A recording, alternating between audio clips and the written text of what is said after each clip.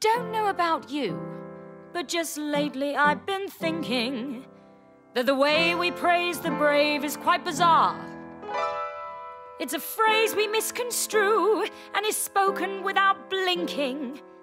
That men's bollocks are the strongest thing by far. Allow us to analyze.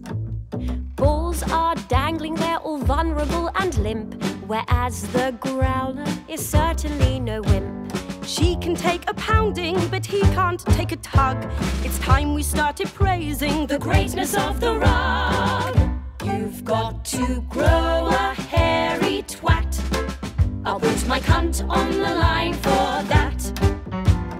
People everywhere have got to stop growing a pair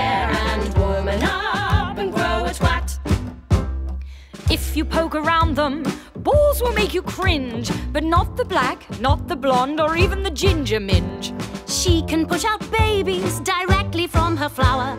Let's hear it for vaginas. Let's cheer for pussy power.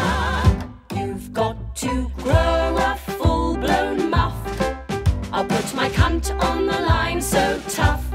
Titties! People everywhere have got to stop growing a pair and woman up and grow a muff.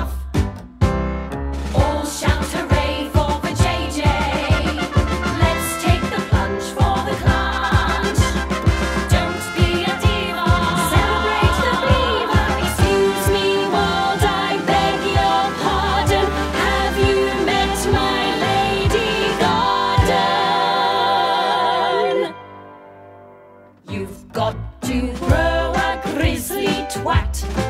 I'll put my cunt on the line for that. People everywhere have got to stop growing a pair and woman up and grow a cat. We mean a pussy. Woman up and grow a twat. So when you hear of testes, remember flange is besties. And woman